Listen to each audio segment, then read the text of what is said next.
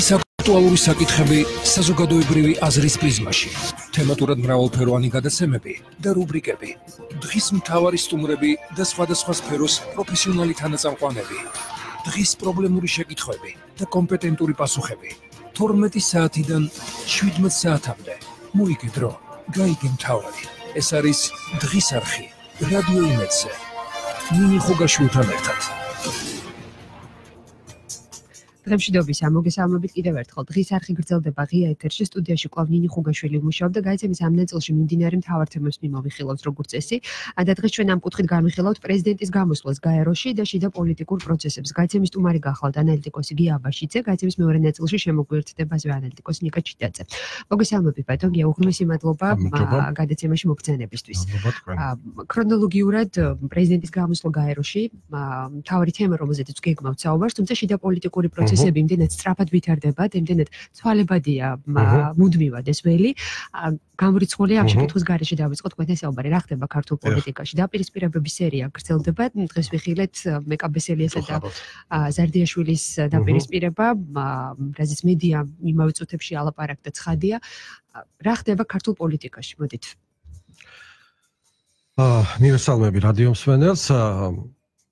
ქართულ პოლიტიკაში ხდება ის, რაც უკვე დიდი ხანია ხდება, დიდი პოლიტიკური ორომტრიალი, როგორც ყოველთვის და ნამეტანი ადრე დაწყებული საარჩევნო კამპანია. ეს არის კამპანიის ნაწილი. კამპანიის ნაწილია ცხადია, საკმაოდ დიდია ასე ვთქვათ, თამასა იმისი და უფრო სწორედ მოლოდინი რომ არაერთ პოლიტიკურ პარტიას შეუძლია მოხდეს პარლამენტში ამ ბუნებრივი 0.7 67-იანი პროცენტით, ну პროცენტიაც ეძახიან, ხო? და ბუნებრივია ხა მიდის ყველანაირი პოლიტიკური ხრიკები, თამაშები, ასე შემდეგ. თავარია იყოს საქმეზე ორიენტირებული და იყოს პრობლემებზე და გამოწვევებზე ორიენტირებული პოლიტიკოსების დღის წესრიგი და არა ერთმანეთის შეურაცხყოფაზე და ურთიერთლანძღვაზე. გასაგებია ხედავთ სხვადასხვა ინციდენტებს, პროცესებს, თუმცა შემდეგ ამომრჩეველი ამას ყველაფერს გამოუტანს განაჩენს მომავალი წლის ოქტომბერში, როდესაც უკვე მივა საარჩევნო ყუთთან. ცხადია, ახლა მოხდება გადალაგება გარკვეულწილად, იმიტომ რომ ჩვენ ვხედავთ პოლიტიკური მოთამაშეები უკვე ახლები და ადრე დაანონსებული და ახლაც ახლები გამოჩნდნენ, იქნება ეს მამუკა ხაზარაძე, იქნება ეს ქართული ოცნებიდან წასული დეპუტატები, რომლებმაც ამ ცივცირე პარტიები გააკეთეს.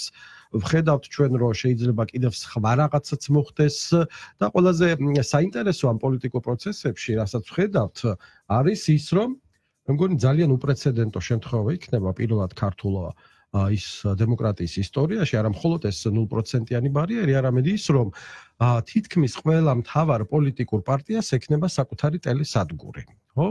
აბარ თქვათ ასე, იმიტომ რომ იქნება ეს გირჩი TV, ობიექტივი, მთავარი არხი, ფორმულა კრეატივის არხი, იქ მოიაზრება TV პირველი მომკა ხაზარაძის გარშემო, ასე შემდეგ და ასე შემდეგ. ანუ ძალიან კარგია, ცოტა დამღლელია მაყურებლისა და მსმენელისთვის არხიდან არხზე გადართოს და ეძებოს შედარებით დაბალანსებული მედია საშუალება. რომელიც ობიექტურად გვაწვდის ინფორმაციას, მაგრამ არაუშავს იმის თქმა, რომ საქართველოსში სიტყვის თავისუფლება იზღუდება, მე მგონი პირიქით არის ამადენი ტელესადგური, უკვე ნამეტანია, ხა შეიძლება სხვა პარტიებმაც მოი მოისურვონესა, იმიტომ რომ ციფრული მაუწყებლობა იქნება ინტერნეტ მაუწყებლობა, ამის საშუალებას იძლევა და ეს ერთგვარ დემოკრატიისთვის კარგია, თუმცა ხანდახან დამღლელია ზოგადად მაყურებლისთვის. აი დემოკრატიული პროცესების ხელშემწყობი, ასე ვთქვათ, ჯაჭვი რამდენად არის ბოლო დროს განვითარებული მოვლენები. მოდით პირდაპირ გადავალ სალმე ზურაბიშვილის სიტყვით გამოსვლის შესახებ გაეროში, რომელზეც ქონდა ძალიან დიდი ნეგატიური განწყობა შეწყალების გახმაურებული ფაქტებიდან გამომდინარე და ასევე სიტყვის დასრულების შემდეგ, სადაც სხვადასხვა საკითხზე იყო ყურადღება გამახვილებული მის მიერ, როგორც არის ოკუპაციაში და საფრთხეები თუ სიღარიბე, ასევე განათლება, მიგრაცია, ჯანდაცვა, კლიმატის ცვლილება, დემოკრატიული განვითარება. ზუსტად ამ საკითხების გარშემო იყო ფოკუსირებული მის სიტყვა. მოდით შევაფასოთ თუ შეიძლება და შემდგომ უკვე როგორი იყო გამოხმაურებები? თავარი მე რაც დავინახე ამ გამოსვლაში იყო მზადყოფნა საქართველოს ხელისუფლების, რომ ახალი ფორმატები, ახალი ჩარჩოები და ახალი სტადია შემოვიდეს საქართველოს რუსეთის ურთიერთობაში. კი ბატონო, ახსენა მან ოკუპაციაც, მართულხლართებიც ყველაფერი ახსენდა, მაგრამ ისე იყო ეს ა მისი გამოსვლა წარმოჩენილი როგორც სურვილი და მზადყოფა დაბალანსებულად გადავიდეთ შემდგომ ეტაპზე რუსეთთან მოლაპარაკებების, ხო? იმიტომ რომ ამ 7 წელმა ჩვენ არაფერი არ შეგვძინა, გარდა, ну, არ შეიძლება ეს არაფერი, მაგრამ რაღაც მდგენელი იყო აბაშიძე კარასინის მოლაპარაკებების მექანიზმი პრაღაში. ახლა სავარაუდოდ სხვა იქნება კარასინის ნაცვლად.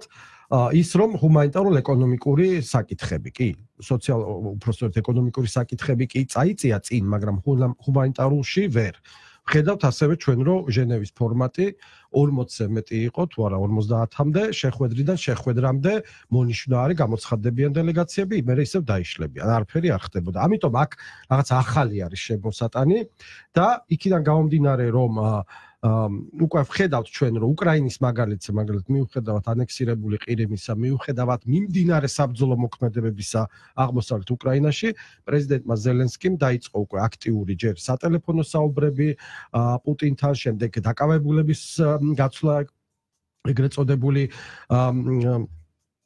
სამხედრო ტყვეების და არის ამის წანამძღვრები, რომ იქნება მათ შორის დიალოგი, დიდი ალბათობით ეს ნორმანდიის ფორმატი იქნება თუ სხვა საერთაშორისო რაღაც მექანიზმები თუ ლიდერების უფრო სწორედ მონაწილეობით, ეს კარგია, იმიტომ რომ ზოგადად ჩვენ მოცემულობა გვაქვს ასეთი, ხო? ან ომი, რომელიც წარმოუდგენელია რომ ვაწარმოოთ, ხო?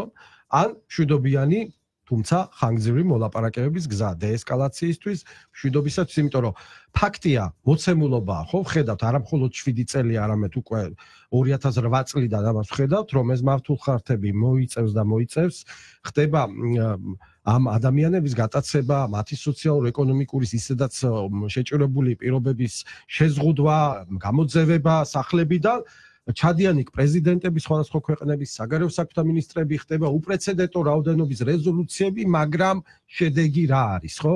არაფერი. ხელშესახები, რომელიც ჩვენ მოგცემდა კიდევ სხვა ეტაპზე, სხვა ფურცელზე გადავსულიყავით. ბეთქე პოლიტიკოსები ამბობენ, რომ არ იყო სწორად გამოყენებული მაგალი ტრიბუნა კონკრეტული მესიჯებისთვის. როგორია თქვენი შეფასება ამ ხრივ? რამდენად გქონდა შანსი, რომელიც გავუშვით ხელიდან? რო რას ფიქრობთ თქვენ ამასთან დაკავშირებით? პოლიტიკოსები გამომდინარე თავიანთი პოლიტიკური დღის წესრიგიდან იტყვიან იმას, რაც უნდათ თქვან, რომ ყოველთვის ისინი ოპონირებენ, თქვათ, ხელისუფლების წარმომადგენლებს. ანუ მათ მოგებიან პოზიციაში ყოფნა. გასაკვირველია ის პოლიტიკოსები მაგალითად ნაციონალური მოძრაობა დღემდე არ აღიარებს პრეზიდენტად სალომე ზურაბიშვილს. ხო, ამას წინათ გამოვიდა მისი თავარი კონკურენტი ერთ-ერთ არხზე, გრიგოლ ვაშაძე, თქვა რომ მისი პრეზიდენტი ჯერ კიდევ მიხელ სააკაშვილია. ასეთ პირობებში, რაც არ უნდა ესე თქვა ზე კარგი და კრეატიული მგზავნილები ქონოდა სალომე ზურაბიშვილს, მაინც ვერ დაინახავდნენ. გულისხმობ ნაციონალურ მოძრაობას და მათ ანასხლეტებს. აქედან გამომდინარე, მე ვხედავ პირადად ჩემი აზრია ეს, რომ მან გააკეთა ეს გზავნილები იმისათვის, რომ საერთაშორისო ჩარევით და იქ იყო არაერთი ათოლობით შეხვედრა აქ იქ პრეზიდენტსა და საგარეო მინისტრსა და სხვა მაღალი რანგის წარმომადგენლებს საქართველოსდან იქ არის ეთყობა უკვე სიგნალი იმისა რომ შევხვდეთ და ვაწარმოოთ ველაპარაკება რუსეთთან. უკვე დღეს დაანონსდა რომ შესაძლოა ministri zalkalიანი თავის რუს კოლეგას ლავროვს შეხვდეს ნიუ-იორკში. ნახოთ, შეხვდება თუ არა, ბუნებრივი აქ არ იქნება ახლა პოზიციების ურთიერთგაცვლა, უბრალოდ გარკვეულწილად შეიძლება რაღაცა ახალი ეტაპი დადგეს საქართველოს-რუსეთის ურთიერთობაში და გაუმჯობესებაში, რადიკალურში ვერა ბუნებრივია, ამის ილუზია არ გვაქვს, მაგრამ რაღაცით ცოტა წინ წავიჯდო და დეესკალაცია მოხდეს საოკუპაციო ხაზთან. როგორი უნდა იყოს მაშინ ტონი ამ შემთხვევაში ქვეყნის პრეზიდენტის საუბრისა, მაგალითად ვანო მაჭავარიანი ამბობდა, რომ საქართველოს პრეზიდენტმა უნდა მოახერხო, რომ გაეროში შეს გამოსვლას რუსეთის დელეგაციამ თქნარებით არ უსმინოს. რამდენად იყო და რამდენად უნდა ყოფილიყო აქცენტები ისეთნაირად ხო, იცით რა არის, ეხლა, როდესაც ასეთ ფოტოებზე კომენტარს აკეთებენ, რომ ის ფოტოს ავთენტურობა არ ვიცით, ახლა სალომეს დროს იყო თქნარება თუ შეიძლება ტრამპის გამოსვლის დროს იყო თქნარება. საერთოდ რაღაცა ისეთი ინტერნეტში გავრცელებულ ფოტოებზე კომენტარი რაღაც არასერიოზულად მემაჩნია და იმაზე კომენტარის კომენტარი გაკეთება. მე უფრო გამოსვლაზე და კონტენტებზე უფრო მინდა ვილაპარაკო. სწორედ ამიტომ, რამდენად იყო ზუსტად ის კონტექსტი, ამ კონტექსტი იყო ის, რომ ეს არის ერთიანობაში ქართული ოცნების ხელისუფლების ერთიანობაში იმ ხაზში რომ მოხდეს დეესკალაცია და შემდგომი პროვოკაცია გამოირიცხოს როგორც ოკუპირებულ სოფლებში და ჩვენს ოკუპირებულ რეგიონებში, ასევე ზოგადად, იმიტომ რომ ჩვენ ნახეთ, რომ გაუმართლებელმა სულელურმა განცხადებებმა თუნდაც ხო? იქნებოდა ეს ერთ-ერთი ტელეარხის წამყვანი ხო? ჩვენ ლამის ეკონომიკური ბლოკადის წინაშე დაგვაყენა ნუ დროებით შეგვიზღუდეს ავიამიმოსვლა ახლა უკვე ლავროვმა კომერსანტთან ინტერვიუში განაცხადა რომ ზათარი რომ განაახლო სამწუხარო აქ ერთი ფაქტი ის რომ ქართული ბიზნესი ჯერჯერობით მეწილად დამოკიდებულია რუსულ ბაზარზე და კარგი იქნებოდა დივერსიფიკაცია როგორც ეს ღვინოზე და სხვა რაღაცაზე მოხდა, ამიტომ ძალიან დიდად არ უნდა დავიყოთ დამოკიდებული რუსულ ბაზარზე. გვაქვს ჩვენ თავისუფალი სავაჭრო ხელშეკრულებები ჩინეთთან, ევროკავშირთან, არის სხვა ბაზრებიც, იქ უნდა გავიდეთ, იმიტომ რომ ვინ იცობა რუსეთმა გადაგვიკეტოს ხოლმე, ამისთვის ქვეყანა მზად უნდა იყოს, რომ გადაერთოს სხვაგან და ისედაც გადართული უნდა იყოს სხვა ეკონომიკურ ბაზრებზე.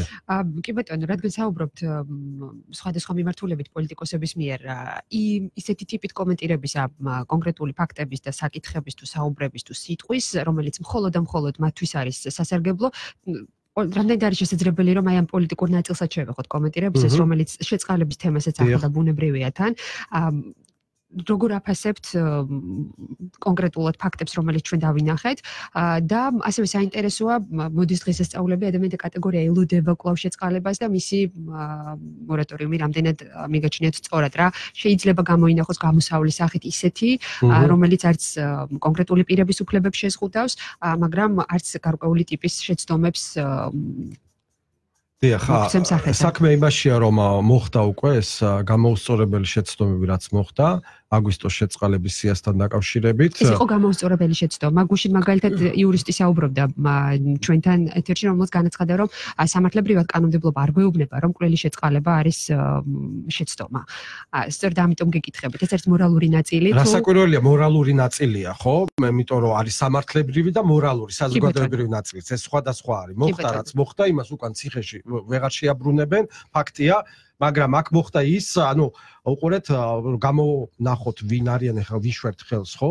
ჩვენ ჯერჯერობით არ ვიცით რა მოხდა პრეზიდენტის ადმინისტრაციაში, იმიტომ რომ ვერც ერთი სულიერი ამ ქვეყანაზე ვერ დაიჯერებს, რომ პრეზიდენტი ზურაბიშვილი თუნდა სხვა პრეზიდენტი იყო საქმის კურსში ამ თითეული ამ кейსების, რაც დაუდეს მას, წაიკითხა თუ არ წაიკითხა, ესეც არ ვიცით, მაგრამ ვინ შეადგინა ეს სია?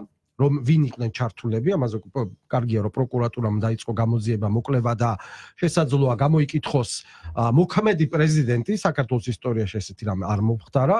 კარგია ეს, მაგრამ უყურეთ, ოდესაც რატომ მოხდა და დამნაშავეებსაც მეძებთ, გავიშვიროთ ხელი ასევე პარლამენტისკენ, იმიტომ რომ იქ როგორც მართველი გუნდის, ასევე ოპოზიციის წარმომადგენლების ბრალეულობაცაა ის, რომ იანვარში შეწყვეტილი შეწყალების კომისიის უფლებამოსილება აქამდე საკანონმდებლო ვაკუუმია, სიცარიელეა, სექტემბერია უკვე და არაფერი არ შეცვლილა. და ის მორატორიუმი, რომელიც პრეზიდენტმა გამოაცხადა, კი ბატონო უყურეთ, პრეზიდენტს აქვს უფლება ეს დისკრეციული უფლება რომ ამბობენ რომ შეიწყალოს, მაგრამ ვალდებულება არ აქვს რომ შეიწყალოს. უყურეთ, ორი სხვადასხვა რაღაცაა, მაგრამ ვალდებულება აქვს მას რომ შუამდგომლობით თუ მიმართა მათ სხვა საპატრიარქო სხვა ზოგადოებამ ამ სხვა ადამიანებმა რომ ეს განიხილოს აი ეს ამაშია კვალდებულება მაგრამ ეს ვაკუუმი დიდხანს არ უნდა იყოს ეს მორატორიუმი არ უნდა გაგრძელდეს იმიტომ რომ ტრადიციულად ჩვენთან მიჩოვლები არიან ჩვენი პატიმრები რომ 23 ნოემბერს განიხილავენ მათ საკითხს საახალწლოდ გიორგობაზე თუ სხვა დღესასწაულებზე ამიტომ ეს დიდხანს არ უნდა გაგრძელდეს და პარლამენტმა ეთილინებოს და რაც შეიძლება დააჩქარებული წესით ამოავსოს ეს იურიდიული ვაკუუმი. კი ბატონო, საუბარი განვგზით მოკლეს არეკლამის ჯრის შემდეგ. პრეზიდენტის გამოსვლა გაეროში და შიდა პოლიტიკური პროცესები საუბრის მთავარი თემა. კაცემაში სტუმრად სტუდიაში ანალიტიკოსი გია აბაშიძე და მეორე ნაწილში შემოგვიერთდება ნიკა ჩიტაძე. ეს არის დღის არხი. რადიო იმედზე. მინი ხუგაშვილთან ერთად.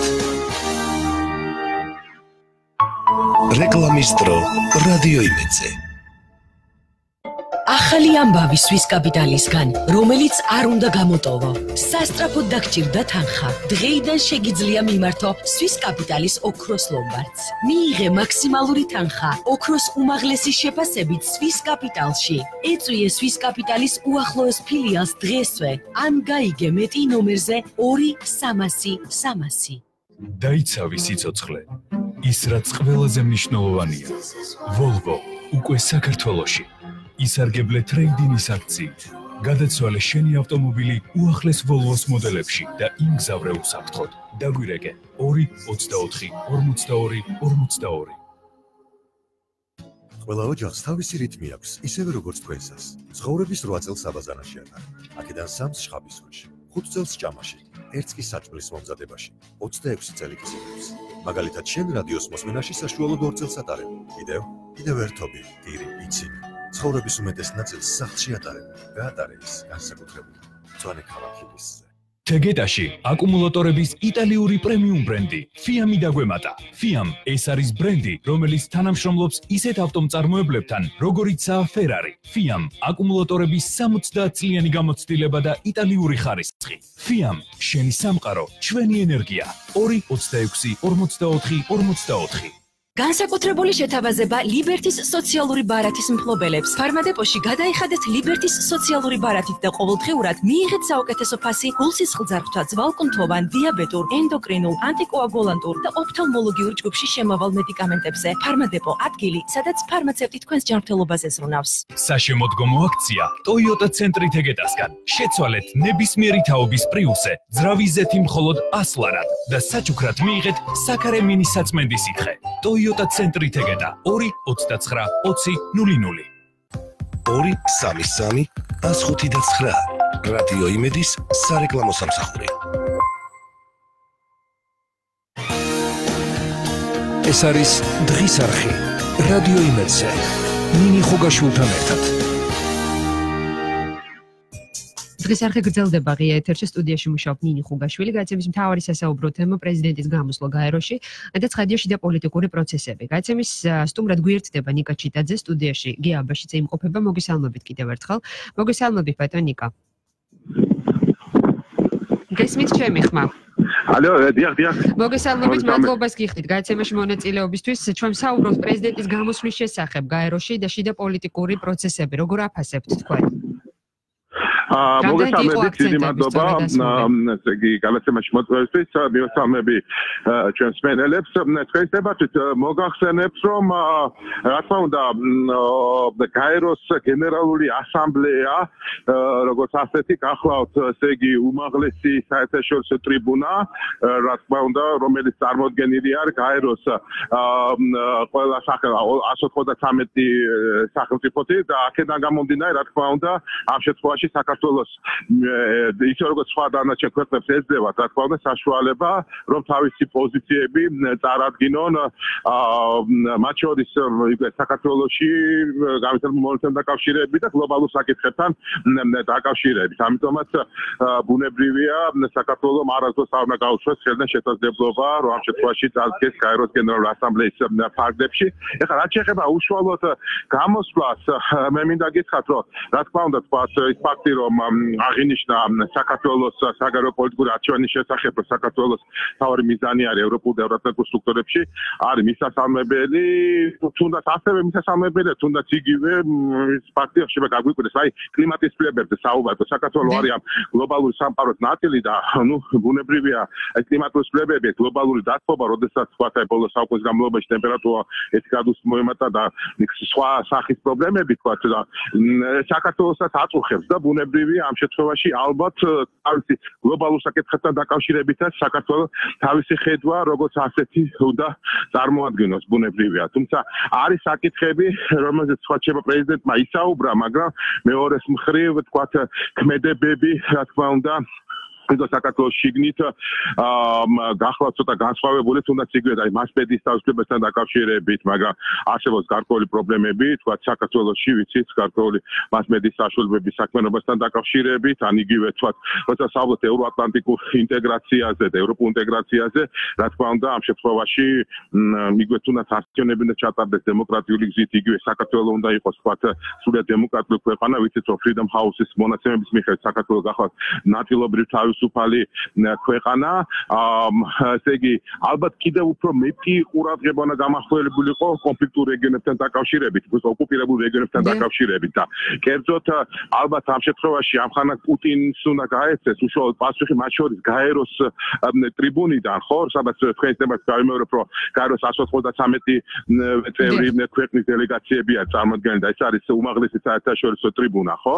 აა თუნდაც იმასთან დაკავშირებთ, რომ როგორც აფხაზეთი, ასე ცხინვალის რეგიონი ყოველთვის იყო საქართველოს სახელმწიფოს განუყოფელი ნაწილი და ჩვენ ვიცით, რომ პუტინმა დაადანაშაულა საქართველოს და ქართული ხალხი გენოციდის მოწყობაში ოსების და აფხაზების წინააღმდეგ, რაც არის აბსოლუტური წვილი. ამიტომაც მე ესე მგონია, საერთაშორისო ტრიბუნები იქნება საქართველოს პრეზიდენტი თუ თქვა სხვა ოფიციალური პირები თუ თუნდაც იგივე თქვა სადაც სამეცნიერო კონფერენციის პარკებში არასამთავრობო სამეცნიერო წრეების წარმომადგენლები, მათ უნდა დააფიქსო ყოველთვის ის ისტორიული სამართლიანობა, რომლის მიხედვითაც აფხაზეთი და ცხინვალის რეგიონი წარმოადგენს საქართველოს ორ ისტორიულ რეგიონს და ამიტომ სხვადასხვა ოკუპაციას საუბარი არ არის საკმარისი რომ ეს არის მიუღებელი და საერთაშორისო სამართლის ნორმების დარღვევა, არამედ საუბარი უნდა იყოს იმაზე თუ როგორ ესე იგი იყო დაცული თუნდაც იგი აფხაზი და ოსი ეროვნებების წარმომადგენელთა უფლებები საქართველოს შემადგენლობაში და როგორ რასალას ისტორიული წყაროები როგორ ამ შემთხვევაში საუბრობენ აფხაზეთის და თემაის რეგიონის საქართველოს სახელმწიფოში თქვა არსებობის თაობაზე თქვა ამაზე ცოტა ნაკლები იყო. საუბარი თუმცა საერთო ჯამში რა თქმა უნდა კარგია მაინც რომ თქვა ესე იგი წარმომადგენლები მათ შორის რუსეთის დელეგაციის წარმომადგენლებიც იმყოფებოდნენ დარბაში ნატოს ვიზა არ მისცეს ნაწილი იმყოფებოდა მაგრამ მგონია რომ მაინც კიდევ უფრო კარგი პოზიცია არის საჭირო რომ იქნეს დაფიქსირებული. კი ბატონო, უღრმესი მადლობა. ნიკა ჩიტაძე საუბრობდა. მანერლიკოსი რადიო იმედის ღია ეთერში დღის არხზე. ბატონია, მკითხავთ თუ შეიძლება კიდევ ამ საკითხთან დაკავშირებით აუცილებლად უნდა ვისაუბროთ მოსამართლეების თემასთან დაკავშირებით. ხადია. კლავ რომ დავუბრუნდეთ გაეროში ზალმა ზურაბიშვილის გამოცვლა საუბრობდა ნიკა ჩიტაძე თქვენ კონდეთ შესაძლებლობა მოგესმინათ მისთვის. არ გამოვიყენეთ რეალურად ის შესაძლებლობა რაც გქონდა არ გამოვიყენეთ სწორად რა რა დამატებითი ვთქვათ იმისთვის რომ გაცილებით უფრო ეფექტური ყოფილიყო.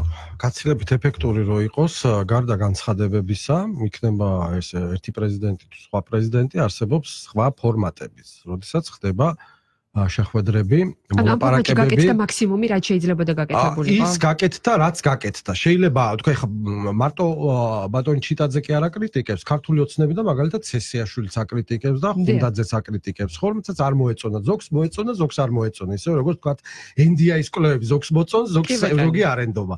ასე ხა, ვერ მოეწონება ყველას, ბუნებრივია, ყველას მოსაწონი პრეზიდენტის განცხადება არსად არ არსებობს, იდეალური არ არსებობს.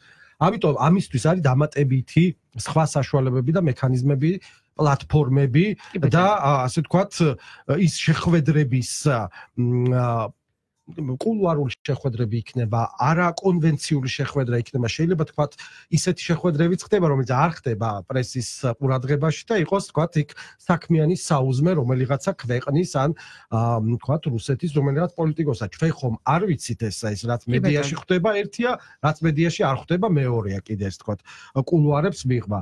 ასე რომ პროცესი კარგია, დინამიურად მიდის.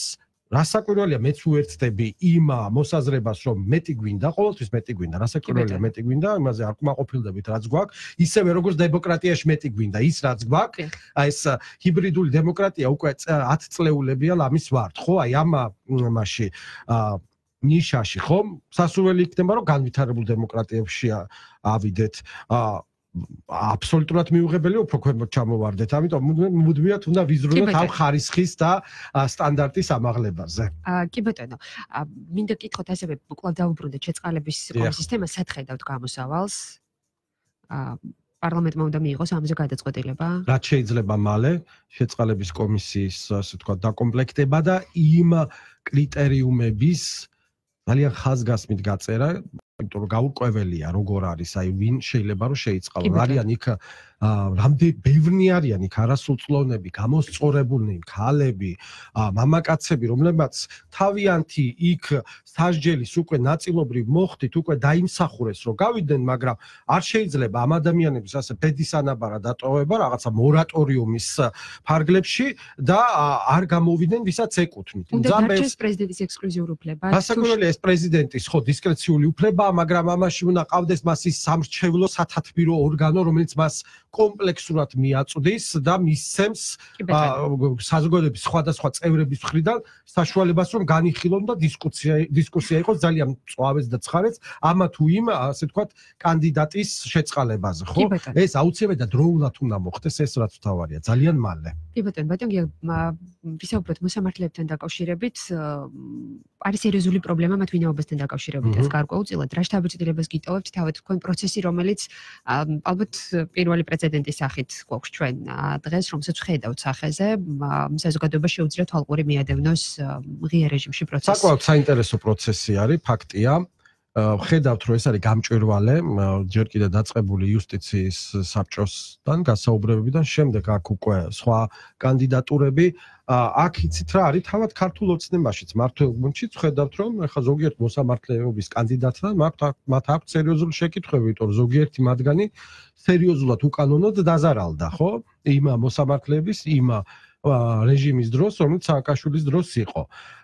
ზოგადად ქართულ მოუცნებამ განახორციელა რა ეს 4 ტალღა სასამართლო რეფორმის, მან აირჩია გზა ევოლუციური და არა რევოლუციური. გულისხმობ იმას, რომ მას არ უნდა რომ ტოტალურად ასე ვთქვათ, გაყაროს მოსამართლეები ახლებით ჩაანაცვლოს მისი ასე ვთქვათ ლოგიკა ასე რომ ვთქვათ, ოცნების არის რომ აი ეს გამოსწორდნენ ეს პირობები, ცუდ პირობებში როცა იყვნენ ემსახურებოდნენ იმ რეჟიმს, ახლა შედარებით თავისუფალია და გამოსწორებულნი არიან და მათ შორის იქ ერთ-ერთი კანდიდატი იყო, რომელსაც ივანიშვილის მოქალაქეობა ჩამოართვა, ისიც განიხილება.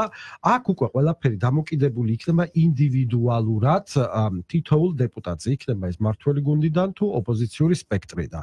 ჩვენ ასევე ვხედავთ, რომ კრიტიკის საგანია საფუძვლიანი კრიტიკის ჩვენი დასავლელი მეგობრების ის კი ევროსაბჭო იქნება, ეუთო იქნება თუ სხვა მათ დასკვნებში დადეს, რომ გარკვეულწილად შეკითხვების ბევრი ნაწილი მოდის იუსტიციის უმაღლეს საბჭოზე. ანუ ახლა ჩვენ პარტნიორებთან ერთად ეს უნდა შევხედოთ და სისტემურად რამდენად შეიძლება ამას უკეთესო მისცეს, აი როგორი რეფორმირება შეიძლება, იმიტომ რომ ქართული ოცნება მართალია კი ერთი მიმართულებით მიდის ახლა ის სხვა საკითხია საარჩევნო კოდექსის რეფორმირება იმ რეკომენდაციების საფუძველზე რომელიც ეუთოს ოდირმა მისცა მაგრამ ასევე არის მეორე მხრივ რეკომენდაციები საერთაშორისო თანამეგობრობიდან რომ გამოსწორდეს. იმიტომ რომ ძალიან ბევრი შეკითხვა და ხარვეზია თავადი იუსტიციის საბჭოში.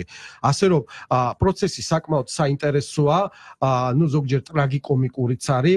მათ შორის არა მხოლოდ მოსამართლეობის კანდიდატები არამედ მაგალითად იმ დეპუტატების შეკითხვები განსაკუთრებით ოპო ოპოზიციური მხრიდან, რომლებიც რაღაცა უნარჩვევების და საერთაშორისო პოლიტიკის რაღაც შესახებ შეკითხვებს უსმევენ, ვიცი შეიძლება ბიოლოგიაზეც დაუსვან შეკითხვა, ან მედიცინაზე, ან კვანტურ ფიზიკაზე, რაც მოსამართლეს ეხება, რაც არის მისი უშუალო კომპეტენცია, სასურველია იმაზე შეეკითხონ და ეს რაღაც პერფორმანსები არ მოაწყონ, იცნობენ თუ არა ისინი რაღაც ამ საერთაშორისო პოლიტიკის წიაღსვლებს, იმიტომ რომ ზოგიერთი დეპუტატი თავადაც არ იცნობს საერთაშორისო პოლიტიკაში რა ხდება, სამწუხარო რეალობა არის. ამიტომ ჯობია კონკრეტულად საქმეზე ორიენტირებული შეკითხვები იყოს, რაც არის, ასაკვირველი არის. გულისხმობ ოპოზიციიდან, გულისხმობ მართველი გუნდიდან და გამოსწორდეს ის ხარვეზები და ის შენიშვნები და რეკომენდაციები გათვალისწინებული იყოს, რომელიც გვაქვს ჩვენ საერთაშორისო თანამეგობრობიდან. სამოქალაქო სექტორი, დამოკიდებულება, აქტიურობა, მოთხოვნები არის თქვენი ვთქვათ შეფასების ეს თავი როდესაც საუბრობთ სამოქალაქო სექტორის აქტიურობაზე რომელიც ბოლო თვეების განმავლობაში ძალიან ნათლად გამოჩნდა. განსაკუთრებით ხისტი მოთხოვნები იყო აგვისტოს შემდეგ რა კონკრეტულად რა მოთხოვნებზე არის საუბარი? კონკრეტულად გავილოვის შემდეგ მოთხოვნები საუბრობ, რა თქმა უნდა და ისინი სამხალხო სექტორის წარმომადგენლები ის ნაწილი, რომელიც აპროტესტებდა გახარიას თანამდებობის, ასე ვთქვათ, შენარჩუნებას და კიდევ უფრო დაწინაურებას, ახალ საფეხურზე გადადიან ურთიერთობის. ზოგადად რა შედეგი მოაქვს სამოქალაქო აქტიურობას? რა ძალა აქვს მოქალაქეს ამ შემთხვევაში? მოქალაქეს აქვს უდიდესი ძალა ნებისმიერ ჩვენგანს, რანგისა, თანამდებობისა, სოციალური მიკუთვნებისა და აქტიურობა არის აქტიურობა, მაგრამ ა ისიც უნდა გამოირიცხოს, რომ თვათ 10-12 არასამთავრობო ორგანიზაციის ხელმძღვანელი არ არის სამოქალაქო საზოგადოება საქართველოსი, ხო, რომელიც არის სადღაც ძალიან ბევრი არიან, ხო, სამოქალაქო საზოგადოება, ჩემთვის ესენი არ არიან. კი ეძახიან საკუთარ თავს გავლენიანი სამოქალაქო სექტორის წარმომადგენლები, ну, ხო, შეიძლება გრანტები აქვთ წლების განმავლობაში ძალიან ბევრი, მაგრამ არიან სხვა არასამთავრობო ორგანიზაციებიც დასაქმებული იმ სფეროებში, რომელიც ძალიან მწვავე არის და გამოსასწორებელია, იქ სოფლის მეურნეობა იქნება, თუნდაც ისევე დემოკრატიული პროცესების განვითარება, ამიტომ საზოგადოება ჭრელია ძალიან და ნურავი ნუფიქრობს, რომ მათი რომელიმე განცხადება ნიშნავს ის, რომ ეს არის აქსიომა და გადახედვას არ ექვემდებარება, ხო? ჩვენ ცხოვრობთ ისე დემოკრატიულ საზოგადოებაში, სადაც უკვე ტაბუები ყველაფერზე მოიხსნა. ტაბუები მოიხსნა, რაც რავალი წლის წინათ წარმოუდგენელიც იყო, თუნდაც საპატრიარქოს კრიტიკაზე. თუნდაც უწმინდესის კრიტიკაზე. ეს დემოკრატიული პროცესია. ვიღაცას მოწონს ვიღაცას არ მოწონს ხო? მაგრამ ის რომ რასაც ამბობს ესა თუ ის რომელიმე აი ეს 12-13 გულის ხო არასამთავრობო ორგანიზაციის წარმომადგენელი ეს არ ნიშნავს იმას რომ ეს არის აქსიომა უმაღლესი ინსტანცია და იმის იქით ჭეშმარიტება უკვე აღარ არსებობს ხო? ესე კი ბოლო ასე თქვათ ჭერი არის ესე არ არის. კრიტიკული აზროვნება ყველას ჩვენთაგანს გვაქვს გამოხატვისა და სიტყვის თავისუფლება სრული ამ სიტყვის მნიშვნელობით. ამიტომ საზოგადოება ჭრელია და არ ნიშნავს იმას რომ გახარიას გადადგომა უნდა და მოსახლეობის დიდ ნაწილს, ხო? ვინმე მგაზრომა ეს, ანუ ის რაღაცა სამი თვე რომელიც გაგრძელდა და ბოლოსში უკვე ივნისისიდან მოყოლებული უკვე რაღაცა 20-30 კაცი იყო რუსთაველზე, ასე შეგიძლია რუსთაველზე დააყენო ყოველთვის მოთხოვნით, გაცილებით მეტი ადამიანი და გაცილებით რადიკალური მოთხოვნებით. ბრიტანეთის პარლამენტთან წლებიად განან გაშლილი აქვს კარვები და ითხოვენ ავღანეთიდან ჯარების გამოყვანას, ახლა ითხოვენ პრემიერ ბორის ჯონსონის გადადგომას, ასე რომ გადადგომას და გადმოდგომას ნებისმიერ ცივილიზებულ ქვეყანაში ითხოვენ, მაგრამ სამოქალაქო საზოგადოება და ასე ვთქვა საჯარო სივრცე ის არის, რომ გამოხატოთ ჩვენი აზრი. ჩემი აზრიც არ არის თავზე მოსახვევები არავისთვის ეს არის ჩემი ინდივიდუალური აზრი. თქვენ განსხვავებული გაქვთ იმ ადამიანებს სხვა აქვთ? ამიტომ ეს არის აზრთა ჭიდილია მუდმივად დემოკრატია მაგრამ არ ნიშნავს რომ ჩემს მიერ ნათქვამი აუცილებლად აქსიომა, ისევე როგორც თქვა რომელიღაც არასამთავრობო რომელიც იტყვის სასამართლო სისტემაზე, აი ის არის, ნუ მაშინ გავაუქმნოთ სასამართლო სისტემა, დაუჯეროთ ამ NGO-ებს, რომ ისინი გავხადოთ მაშინ უზენაეს სასამართლოს ალტერნატივა. ნუ ასეც არ შეიძლება. ანუ ჭიდილია აზრების, პოზიციების და რაც არ უნდა ურთიერთგანსხვავებული რადიკალური აზრები ქონდეს, პატივი უნდა ვცეთ ერთმანეთის აზრებს. უღრმესი მადლობა ნაგი აბაშიძე გაიცემის სტუმარი. მადლობა გაიცემის სტუმრობისთვის მადლობა ყურადღებისთვის. ჩვენს მსმენელს დღის არხი დღესამი დასრულებულია. ეს არის დღის არხი. რადიო იმედზე ნინი ხუგაშვილთან ერთად